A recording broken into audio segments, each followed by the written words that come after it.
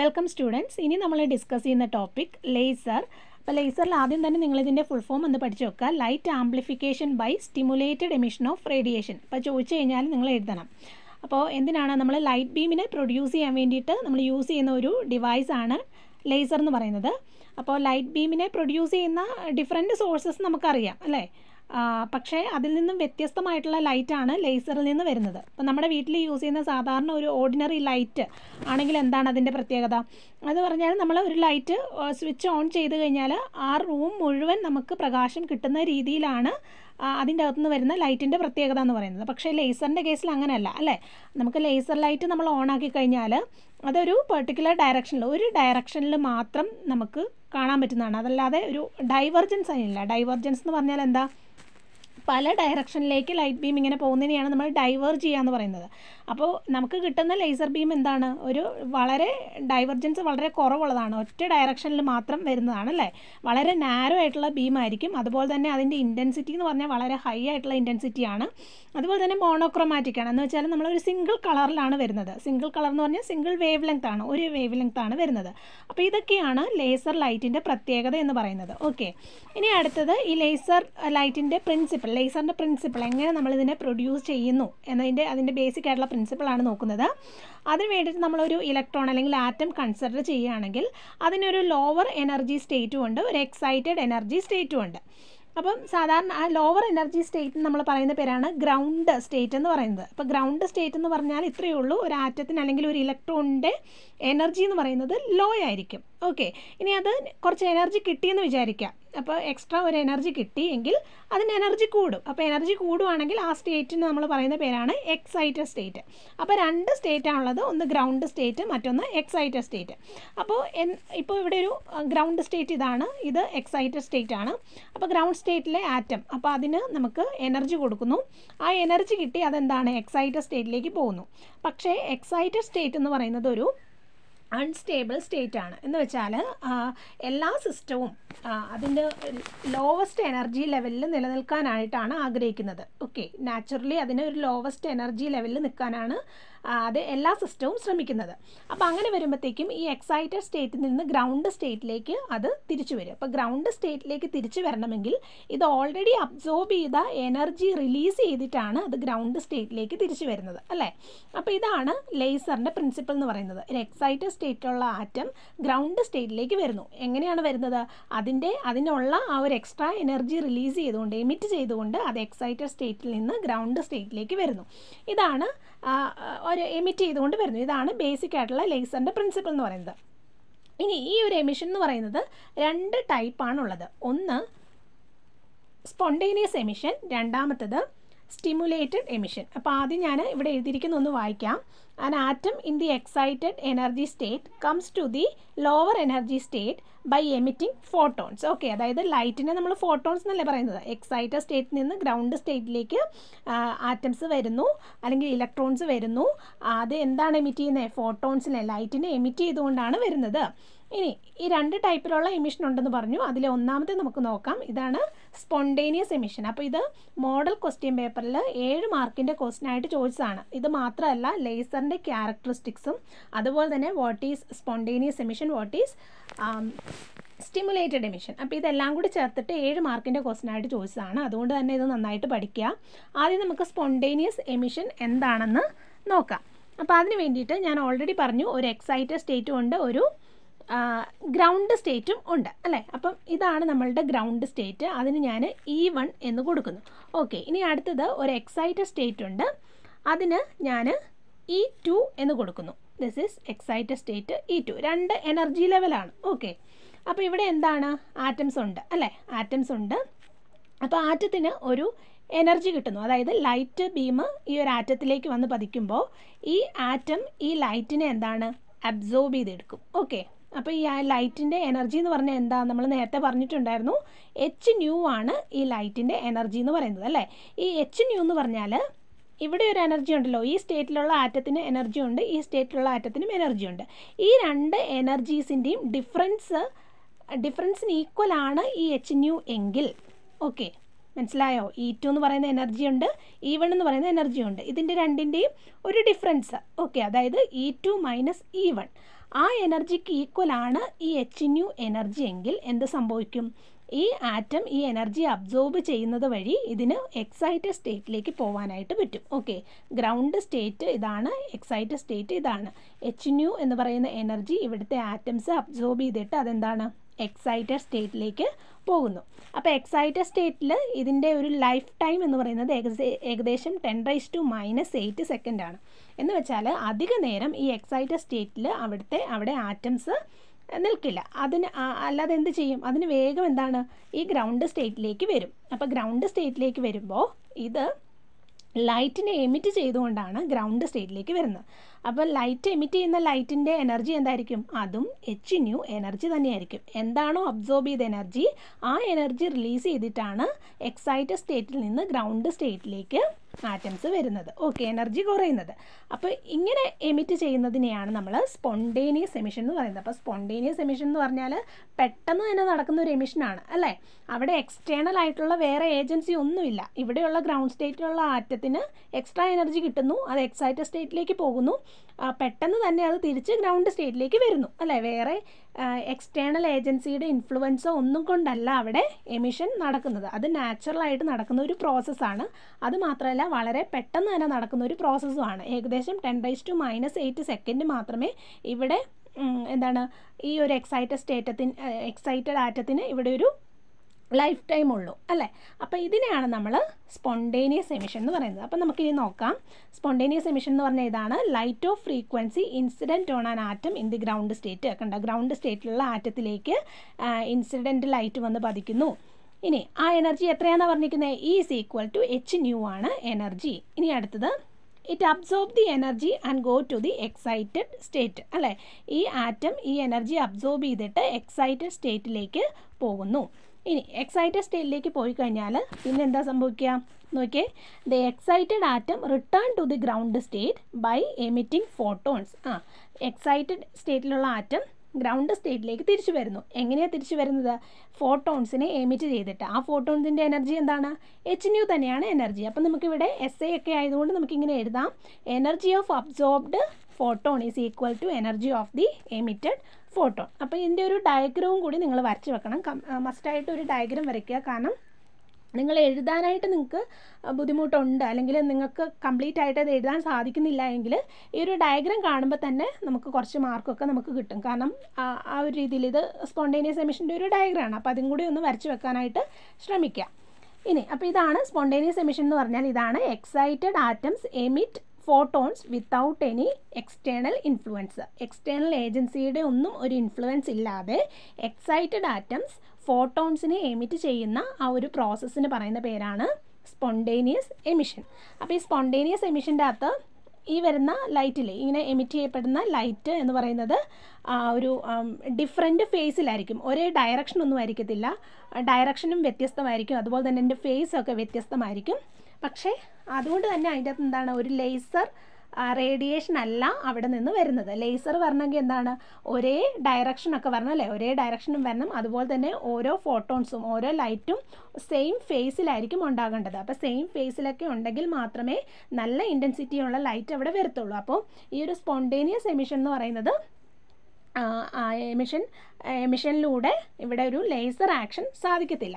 പിന്നെ ഉള്ള എമിഷനാണ് stimulated emission അപ്പോൾ ശരിക്കും നമ്മൾ ലേസറിന്റെ ഒരു ഫുൾ ഫോം പറഞ്ഞപ്പോഴത്തേക്കും പറഞ്ഞു അല്ലേ? Light amplification by stimulated emission എന്നാണ് പറഞ്ഞിരിക്കുന്നത്. അപ്പോൾ ശരിക്കും ഈ സ്റ്റിമുലേറ്റഡ് എമിഷൻ എന്ന് പറയുന്ന ഒരു പ്രോസസ്സ് അവിടെ നടക്കുന്നത് കൊണ്ടാണ് ലേസർ ബീം നമുക്ക് കിട്ടുന്നത്. ഓക്കെ അപ്പോൾ സ്റ്റിമുലേറ്റഡ് എമിഷൻ എന്താണെന്ന് നോക്കാം. ഞാൻ ആദ്യം പറഞ്ഞ പോലെ തന്നെ ഇവിടെ ഒരു ഗ്രൗണ്ട് സ്റ്റേറ്റ് ഉണ്ട്. അതുപോലെ തന്നെ ആറ്റത്തിന്റെ എക്സൈറ്റഡ് സ്റ്റേറ്റ് ഉണ്ട്. അത് രണ്ടും കാണിക്കാം. അപ്പോൾ ഇവിടെ എന്താണ് ഗ്രൗണ്ട് സ്റ്റേറ്റിൽ ആറ്റംസ് ഉണ്ട് അല്ലേ? അപ്പോൾ അതിലേക്ക് ലൈറ്റ് വന്ന് പതിക്കുന്നു. അപ്പോൾ അതിന്റെ എനർജി എത്രയാണ്? എച്ച് ന്യൂ ആണ്. അപ്പോൾ ലൈറ്റ് ഈ ലൈറ്റിനെ ഈ ആറ്റം അബ്സോർബ് ചെയ്യുകയും അത് എക്സൈറ്റഡ് സ്റ്റേറ്റിലേക്ക് പോവുകയും ചെയ്യുന്നു. എക്സൈറ്റഡ് സ്റ്റേറ്റിലേക്ക് പോയി കഴിഞ്ഞാൽ ഇവിടെ ഇതിന് നമ്മളൊരു മെറ്റാ സ്റ്റേബിൾ സ്റ്റേറ്റ് എന്നാണ് പറയുന്നത് ഇവിടെ ലൈഫ് ടൈം കുറച്ചും കൂടി കൂടുതലാണ്. നേരത്തെ ten raise to minus eight ആയിരുന്നു അല്ലേ? അപ്പോൾ ഇവിടെ കുറച്ചും കൂടി കൂടിയ ഒരു ലൈഫ് ടൈമാണ് ten raise to minus two second അല്ലെങ്കിൽ ten raise to minus three second ഒക്കെയാണ്. ഒരു ഇത്തിരി സമയവും കൂടി അവിടെ ഉണ്ട് അപ്പോൾ ഇവിടെ വരുന്ന ആറ്റംസ് എന്താണ് ഫോട്ടോണിനെ അപ്പം ഇവിടെ ten raise to minus two second life time ഉണ്ടെന്ന് പറഞ്ഞു. അപ്പോൾ ഓൾറെഡി ഇവിടെ ഒരു ആറ്റം എത്തുമ്പോൾ അടുത്ത ആറ്റവും എന്താണ്? അടുത്ത ലൈറ്റിനെ അബ്സോർബ് ചെയ്തിട്ട് ഇവിടെ എത്തും. ഓക്കെ അപ്പോൾ അടുത്ത വേറൊരു എക്സൈറ്റഡ് ആറ്റവും ഇവിടെയുണ്ട്. അപ്പോൾ ഒന്നാമത്തെ ആറ്റം തിരിച്ചെന്താണ് ഗ്രൗണ്ട് സ്റ്റേറ്റിലേക്ക് വരുമ്പോൾ ഇതെന്ത് ചെയ്യും? ഇത് എച്ച് ന്യൂ എനർജി എമിറ്റ് ചെയ്യും. അല്ലേ? എച്ച് ന്യൂ എനർജി എമിറ്റ് ചെയ്തിട്ടാണ് ഇങ്ങോട്ട് വരുന്നത്. അപ്പോൾ ഈ എച്ച് ന്യൂ എനർജി എന്ന് പറഞ്ഞാൽ എന്താ? ഇതൊരു ഫോട്ടോൺ ആണല്ലേ? ഈ ഫോട്ടോൺ ഈ രണ്ടാമത് എക്സൈറ്റഡ് ആയിട്ടുള്ള ഈ ഇലക്ട്രോൺ സോറി ഈ ഒരു ആറ്റത്തിനെ അല്ലെങ്കിൽ ഈ ഒരു ഇലക്ട്രോണിനെ വന്ന് ഹിറ്റ് ചെയ്യുകയും ഈ എച്ച് ന്യൂ എനർജി ഇത് അബ്സോർബ് ചെയ്തെടുക്കുകയും ചെയ്യുന്നു.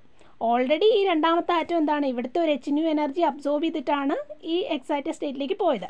അത് കൂടാതെ ഈ ഈ ആദ്യത്തെ ഇലക്ട്രോൺ താഴേക്ക് വരുന്ന ഗ്രൗണ്ട് സ്റ്റേറ്റിലേക്ക് വരുന്ന ഇലക്ട്രോൺ ഒരു എച്ച് ന്യൂ എനർജി എമിറ്റ് ചെയ്തിരുന്നു.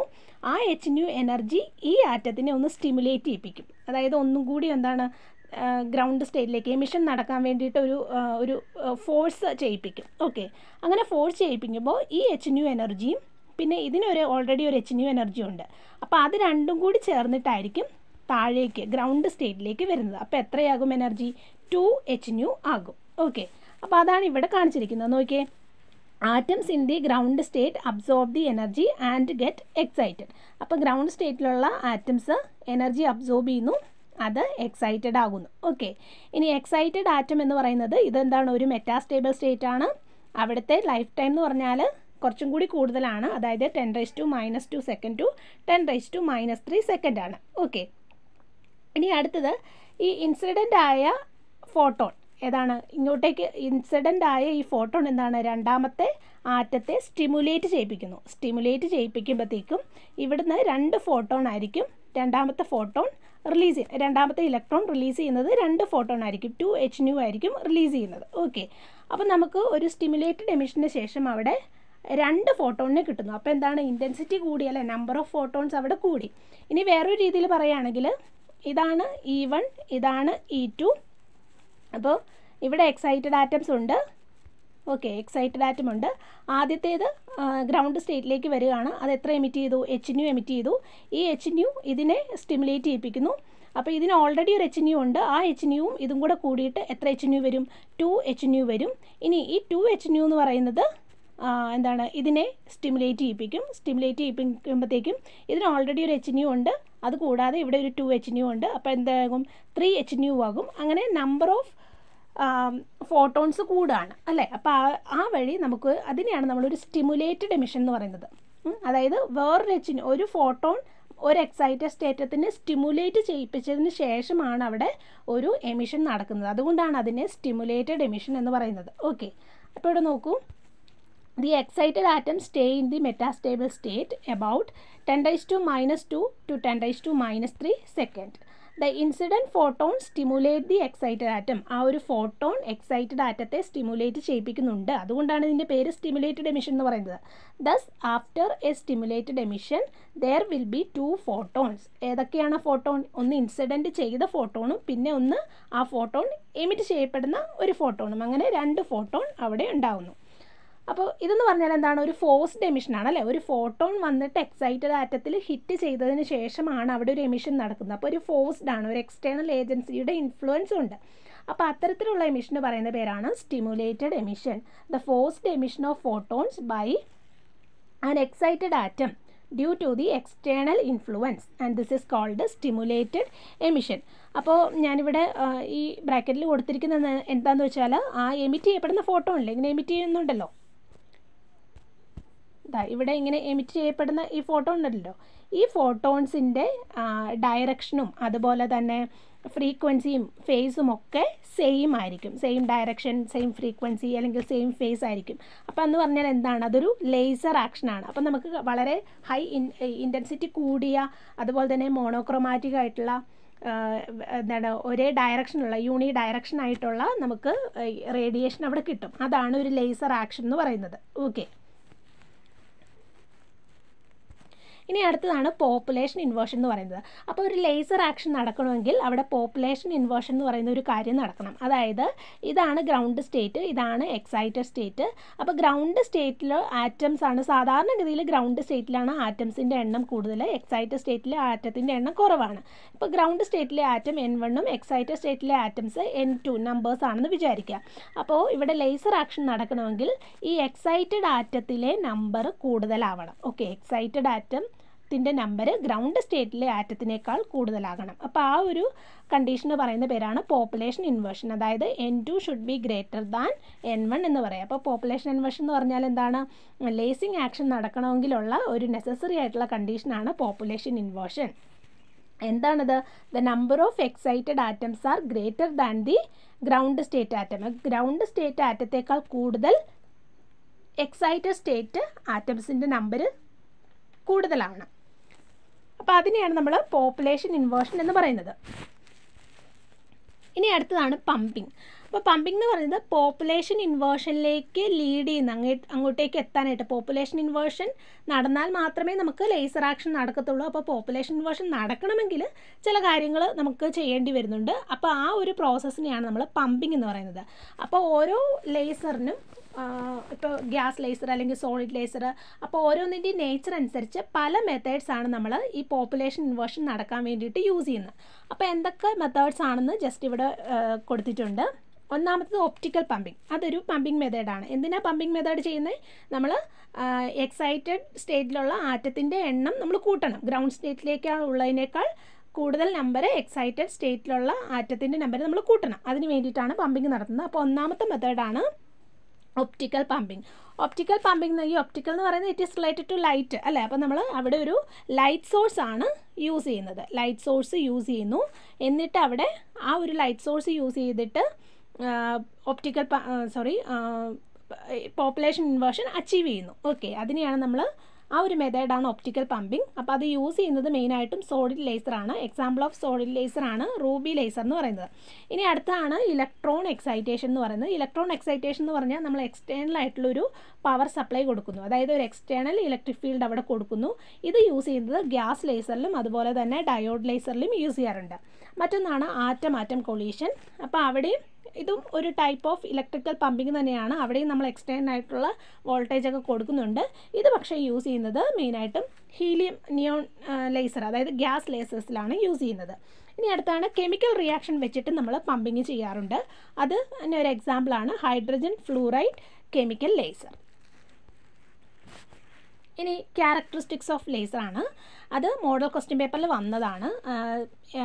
സെവൻ മാർക്കിന്റെ ക്വസ്റ്റ്യൻ ആയിട്ട് ഇതും അതുപോലെ തന്നെ സ്റ്റിമുലേറ്റഡ് എമിഷൻ എന്താണ്? സ്പോണ്ടേനിയസ് എമിഷൻ എന്താണ്? ഇതെല്ലാം കൂടി ചേർത്തിട്ടാണ് ഏഴ് മാർക്കിന്റെ വന്നത്. അപ്പോൾ ക്യാരക്ടറിസ്റ്റിക്സ് ഓഫ് ലേസർ എന്ന് വന്നത് വളരെ ഇമ്പോർട്ടന്റ് ആണ്. ടു തൗസൻഡ് ഫിഫ്റ്റീൻ റിവിഷനിലും ഉള്ള ഒരു ടോപ്പിക്കാണ് ഒരുപാട് തവണ ചോദിച്ചിട്ടുള്ളതാണ്. സോ ആദ്യത്തെ ക്യാരക്ടറിസ്റ്റിക്സ് എന്ന് പറയുന്നത് മോണോക്രൊമാറ്റിസിറ്റി ആണ്. കാരണം ഒരു സിംഗിൾ കളർ ലേസർ ആണ് നമുക്ക് എപ്പോഴും കാണാൻ പറ്റുന്നത് അല്ലേ? സിംഗിൾ കളർ എന്ന് പറഞ്ഞാൽ ഒരു വേവ് ലെങ്ത് മാത്രം ഉള്ളത്. അപ്പോൾ അതിനെയാണ് നമ്മൾ മോണോക്രൊമാറ്റിക് എന്ന് പറയുന്നത്. ഇനി ഹൈലി കൊഹിറന്റ് ഹൈലി കൊഹിറന്റ് എന്ന് പറഞ്ഞാൽ നമ്മൾ കാണുന്ന റേഡിയേഷനൊക്കെ എങ്ങനെയാണ്? ലേസർ റേഡിയേഷൻ എന്ന് പറയുന്നത് ഒരു കണ്ടിന്യൂസ് ആണ്. അതുപോലെ തന്നെ ഒരേ ഒരു കണ്ടിന്യൂസ് ആയിട്ടുള്ള മാനറിൽ അതേ ഒരേ ഡയറക്ഷനിലൊക്കെ വരുന്നതാണ് അല്ലേ? അപ്പോൾ അതുകൊണ്ട് തന്നെ ഇതെന്താണ് ഹൈലി കൊഹിറന്റ് എന്ന് നമുക്ക് പറയാനായിട്ട് പറ്റും. എന്ന് വെച്ചാൽ സെയിം ഫേസിലാണ് ഓക്കെ സെയിം ഫേസിലും സെയിം ഫ്രീക്വൻസിയാണ് കണ്ടിന്യൂസ് ആണ് അതുകൊണ്ടാണ് നമ്മൾ ഹൈലി കൊഹിറന്റ് എന്ന് പറയുന്നത്. മറ്റൊന്നാണ് വളരെ ഹൈ ഇന്റൻസിറ്റി ആണ് അല്ലേ?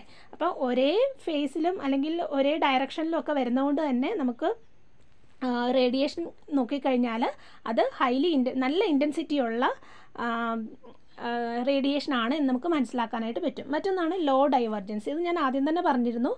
പല ഡയറക്ഷനിലോട്ടൊന്നും ലേസർ ലൈറ്റ് പോകത്തില്ല. അല്ലേ? ഒരൊറ്റ ഡയറക്ഷനിലാണ് വരുന്നത്. അതാണ് ഡൈവർജൻസ് വളരെ കുറവാണ്. ഡൈവർജൻസ് കൂടുതലാന്ന് പറഞ്ഞാൽ ഒരുപാട് ഇങ്ങനെ ഡൈവർജ് ചെയ്ത് പല ഡയറക്ഷനിലേക്ക് പോകും. പക്ഷെ അങ്ങനെ പോവില്ല. അപ്പോൾ ആ ഡൈവർജൻസ് കുറവാണ്. അതായത് ഹൈലി ഡയറക്ഷനിലാണ് എന്ന് നമുക്ക് പറയാനായിട്ട് പറ്റും.